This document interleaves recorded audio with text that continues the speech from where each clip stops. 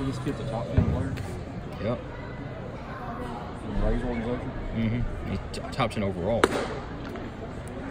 baseball. Big time international guy.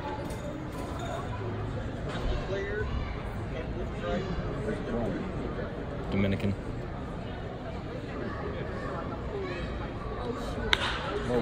He's got good bat speed, that's why.